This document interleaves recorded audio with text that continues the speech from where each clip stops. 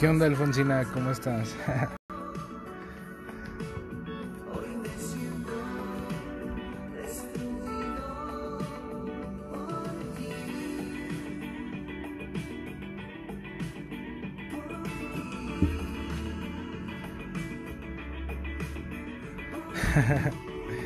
no, no pasa nada.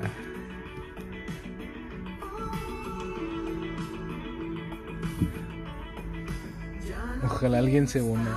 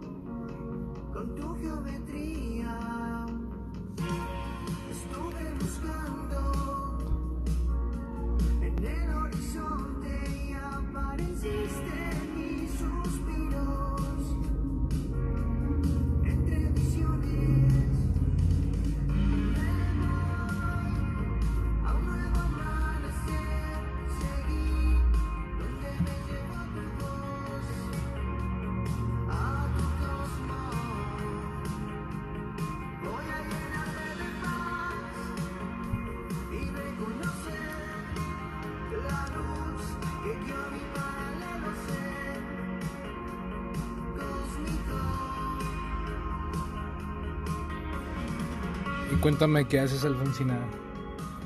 ¿Cómo te ha ido? ¿Qué?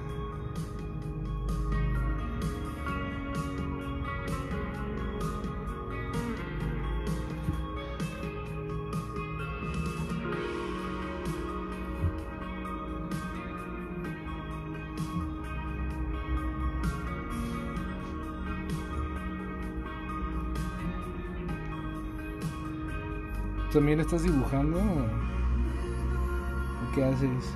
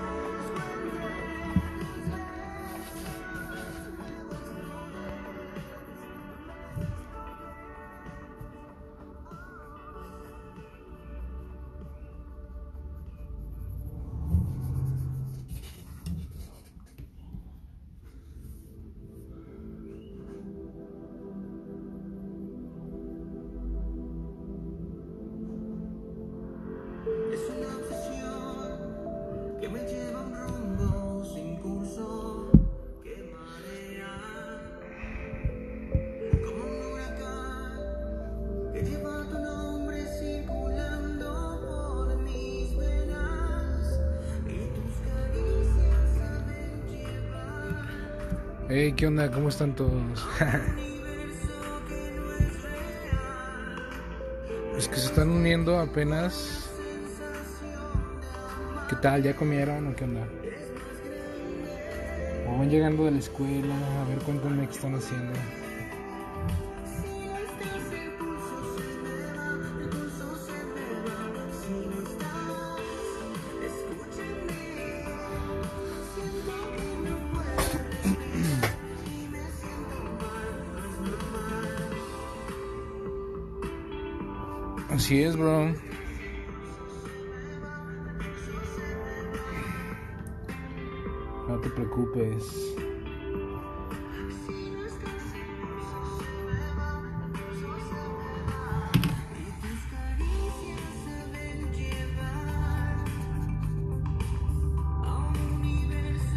Ya sé, ya sé. Em, me ha pasado mucho que mucha gente o muchos otros artistas son demasiado malinchistas y pues obviamente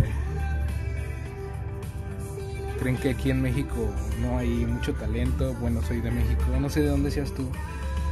Pero pero sí, yo hablo español, soy soy mexicano, pero pues también hablo inglés y un poquito de ruso.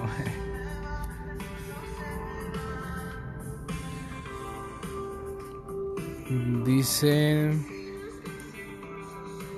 Bubble Snowflakes. Yo estoy acostada, hace demasiado frío que ni ganas dan de levantarme. ya sé, suele pasar.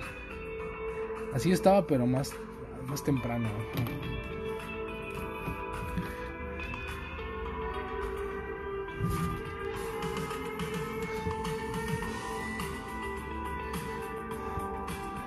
Pues saludos hasta el norte, donde andes, bro. Monterrey. ¿O de dónde, bro?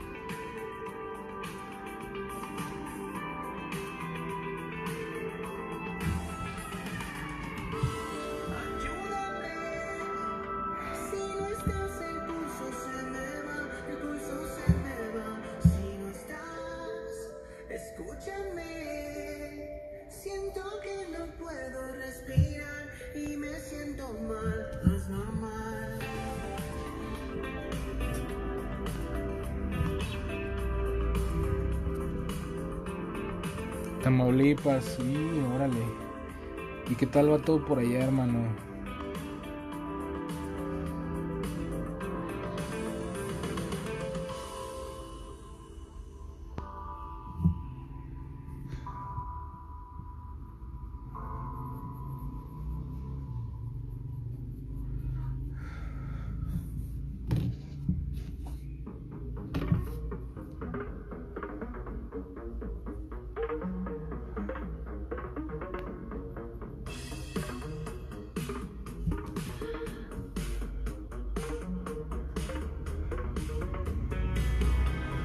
¿Qué es ese rectángulo?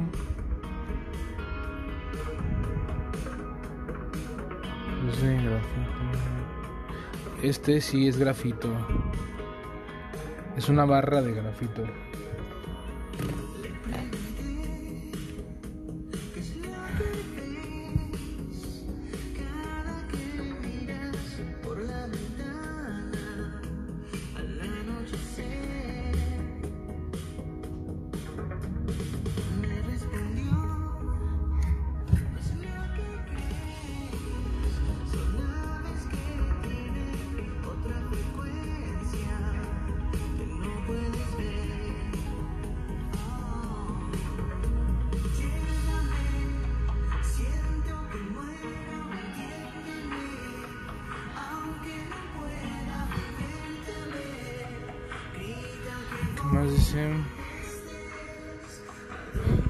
Vaya.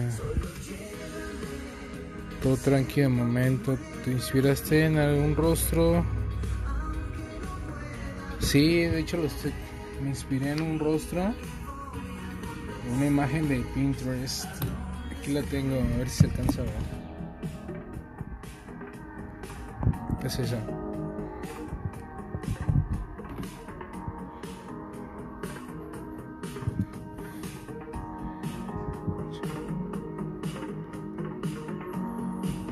Carolina, muchas gracias. Qué chido que te gusten, de verdad.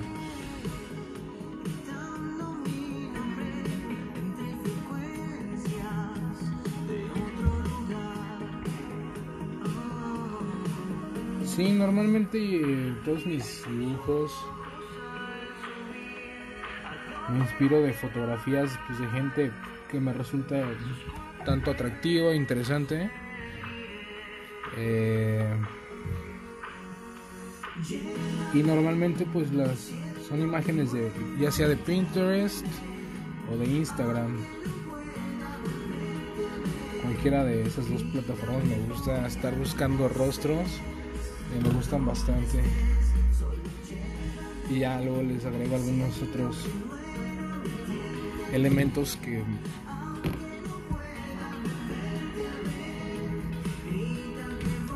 Sí, algunos otros elementos que pues definen mi estilo, ¿no? Así es como queda cuando toca mi alma, mira. ¿Se han visto ese meme? Vean, la mano toda llena de grafito. Es por culpa este, de esta barrita de grafito que, está, que es muy buena. Tam, ¿qué onda? ¿Cómo estás? Qué chido que estés viendo el live. Un saludo hasta Cancún, qué chido que estés ahí. Aquí, perdón.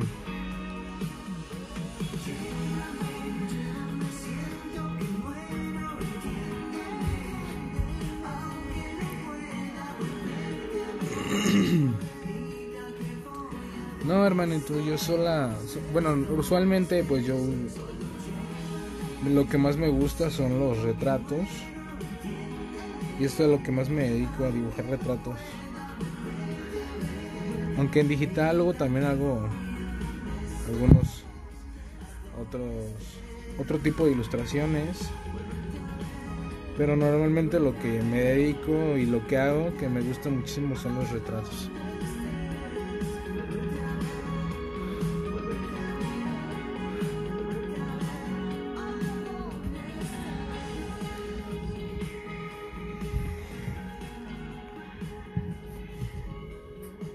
Ya después de aquí agrego algunos otros elementos.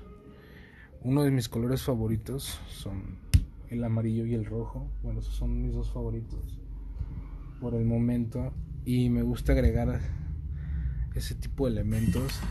Pero aquí a la mano tengo este Sharpie. Vamos a ver qué tal resulta si agrego un poco de Sharpie.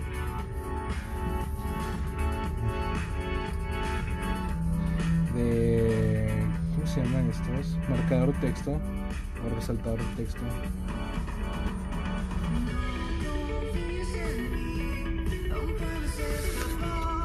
Ángel.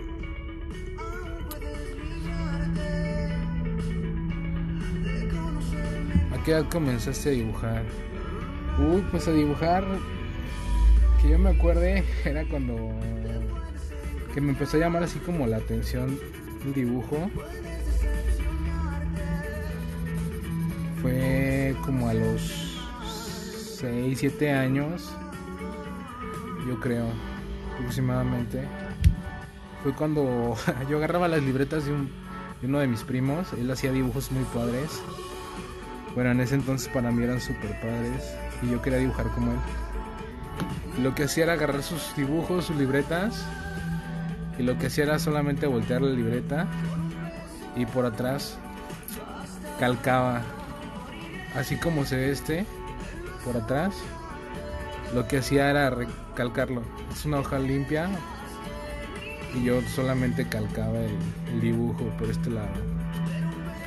Entonces él siempre se enojaba y me dijo no es que tienes que aprender a dibujar y así entonces fue cuando empecé a dibujar y a enseñarme a dibujar. Aproximadamente así como a los 7 años todo fue gracias a él que me empezó a gustar el dibujo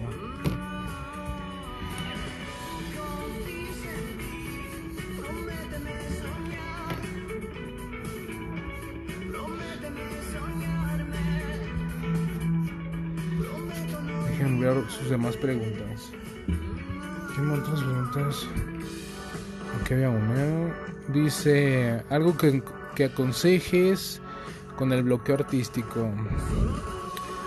Eh, yo he escuchado que muchos, muchos artistas tienen bloqueo artístico. Pero pues yo no le llamaría tanto como bloqueo artístico, sino más bien como...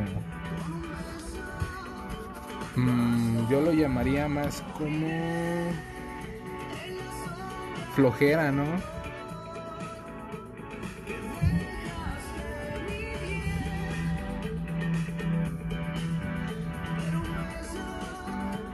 Porque muchas veces solamente tienes que crearte el hábito de dibujar y pues solito van a empezar a salir las ideas. Igual muchos, bueno, he escuchado muchos podcasts o, o videos, he visto que dan consejos para esto. Y uno de los consejos que más dan es... Eh, es pues ver películas o inspirarte en algunos otros artistas.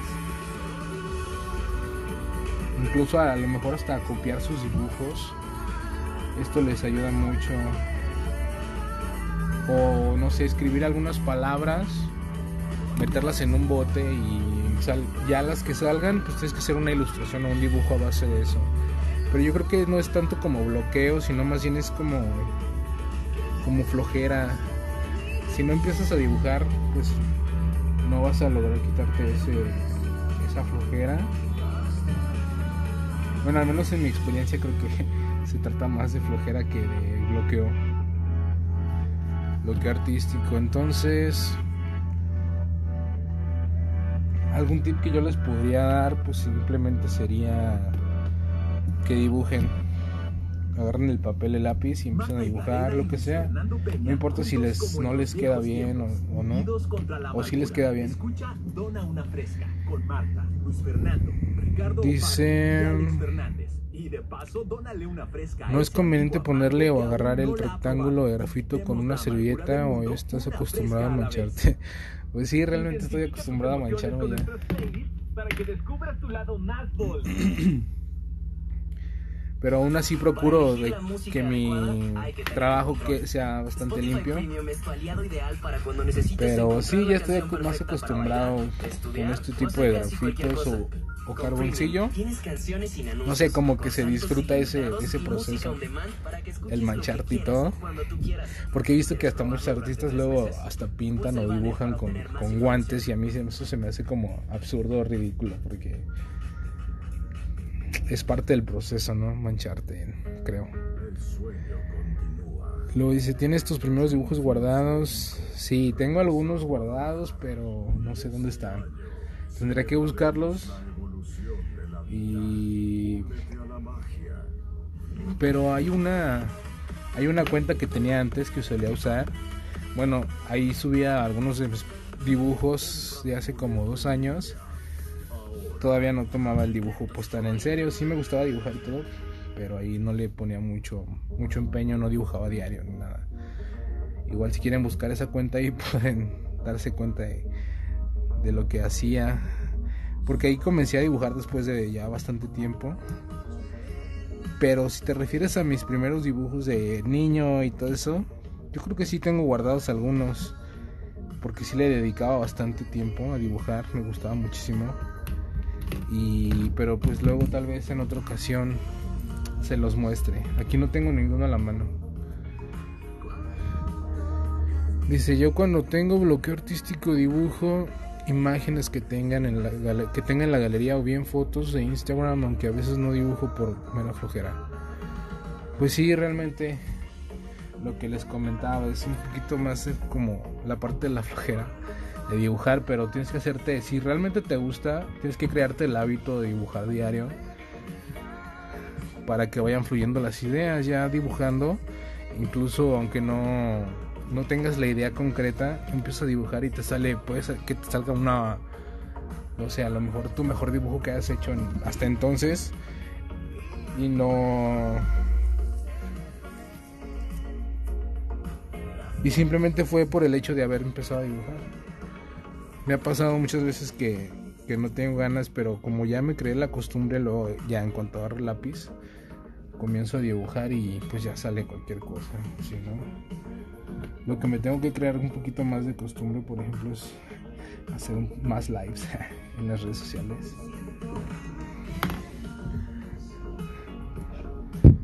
¿Cómo haces tu boceto o cómo lo inicias? Yo siempre los bocetos los inicio. Déjenme ver si aquí tengo alguno. Aquí está, que he iniciado y no he terminado.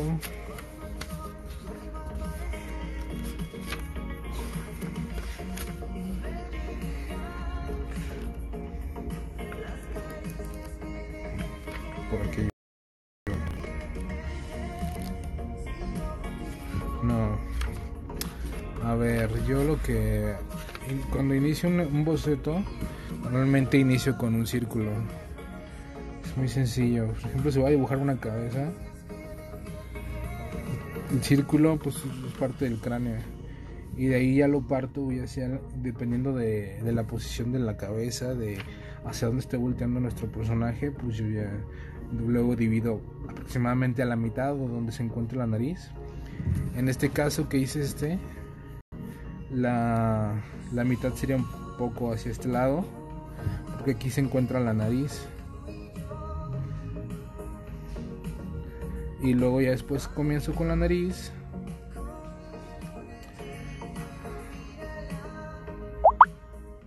Y ya cuando tenga la nariz ya bien definida, obviamente siempre tienes que darte cuenta o poner atención en los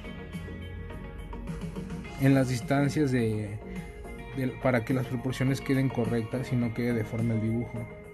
Esto ya con el tiempo pues lo vas a ir detectando fácil, pero conforme vas avanzando en tu dibujo al principio vas a darte cuenta si si por ejemplo la boca le hiciste en este caso iría por aquí la- el labio, ¿no? El labio superior. Pero, por ejemplo, digamos que lo dibujo más abajo y no me doy cuenta, ¿no? Por estar dibujando aquí. Estoy muy entretenido, lo hago más abajo. Pero luego ya digo, no manches, creo que está muy deforme. Entonces lo que hago, pues borro.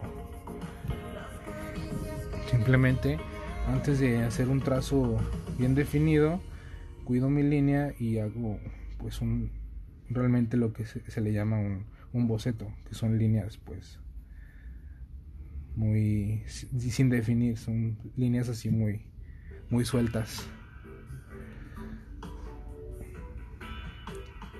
pero yo siempre empiezo con un círculo después me guío por donde está la nariz la dibujo a la mitad una línea y podría ser después iniciar con lo que es la mandíbula y darle forma a todo el cráneo.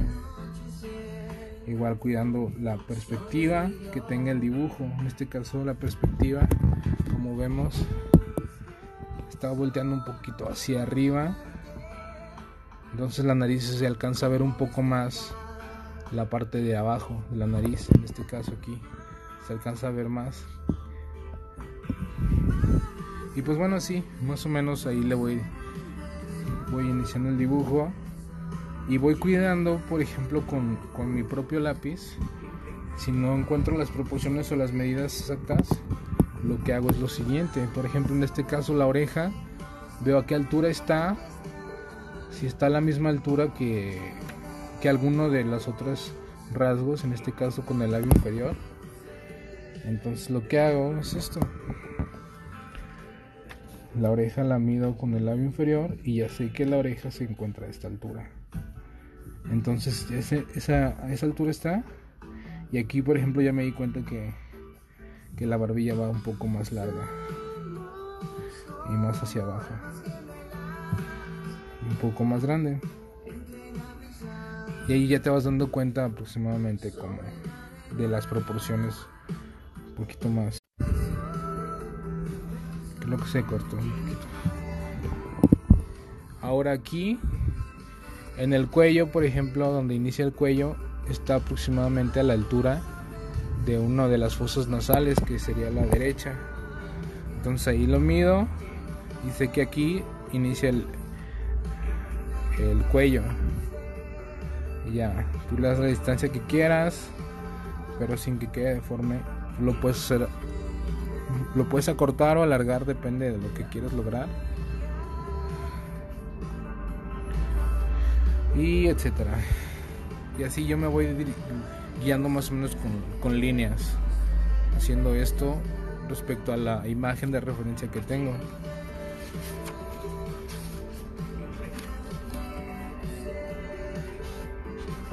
Igual al inicio de este live van va a estar como inicia este dibujo, ahí lo van a ver. Por si lo quieren ver, ahorita que termine, lo quieren volver a repetir el, bueno, por lo menos el inicio para que vean cómo es que inicié con el boceto de este. Ahora dice, ¿tienes canal de YouTube? ¿Obtienes dinero de, de tu arte? Sí, sí tengo canal de YouTube. Eh, mi canal se llama igual que mi cuenta de Instagram, se llama Royal Dragon. Y pues ahí tengo varios videos. En, que luego me da un poquito de, flojera editar. No soy muy bueno con, eso de la edición. Bueno, sí soy bueno, pero me da un poco de flojera editar. Entonces ahí son, a veces son videos así como súper rápidos. Pero ahí tengo algunos otros tutoriales y así. Y obtienes dinero de tu arte. Sí, de alguna manera pues directa e indirectamente pues se obtiene dinero. Bueno, yo, por ejemplo, doy clases de dibujo en particulares y en algunas escuelas. Y de estos dibujos igual lo mismo, lo que intento, bueno, sí he tenido bastante trabajo, hago retratos, pero así normalmente con mi estilo porque no son a lo mejor sí es un poco tanto realista, pero es un poco más expresionista, con otro estilo. Pero sí, hago pinturas, dibujos, retratos normalmente. Y también tengo alguna mercancía que he hecho con mis propias ilustraciones, como sketchbooks, eh, tazas, libretas, eh, pines, stickers playeras y así. Así que pues sí se obtiene beneficio de todo lo... Bueno, hay que tratar de, de, sacarle el provecho o beneficio de, de, todo lo que haces. Por ejemplo, si tienes muchos dibujos, yo en este caso, bueno, esto me lo pasó un tipo, un amigo. Eh, todos los dibujos que tengas, porque siempre tenemos muchísimos dibujos que, que están en nuestra colección personal, ¿no? Obviamente hay que sacarlos, hay que venderlos. Y pues yo lo que hago es ir a algunos bazares para venderlos y sacarlos ahí al mínimo precio, no mínimo costo. Como son dibujos, la mayoría son sketches, son para práctica y así. Entonces lo saco lo que me quieran dar, 50, 100 pesos. y pues de ella se saca un extra para los materiales o para alguna otra cosa que quieras invertir o a lo mejor hasta para un café o algo, ¿no? Así. Pero el chiste es no tener nada guardado, siempre sacar todo tu, ahora sí que tu colección personal. Ese es muy buen tip. Aunque creas que no, que no es, que tu arte no es muy buena, habrá gente que a la que le guste o la que le interese. Eh, me dice, fíjate, es la misma construcción la que usas para dibujar anime. Bueno, como me enseñé. Pues sí, pues es como un canon universal. existen varias formas de iniciar un boceto, un retrato. Pero pues esa es la como la que a mí más me acomoda.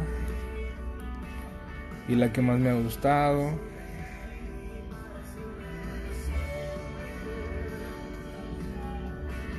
Pero sí existen muchas maneras de iniciar un retrato.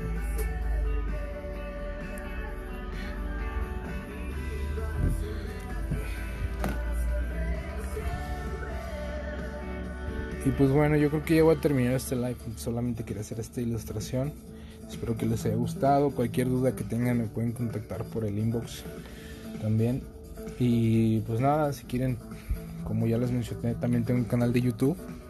Es igual Real Drawing. Tengo eh, TikTok, también ahí subo videos.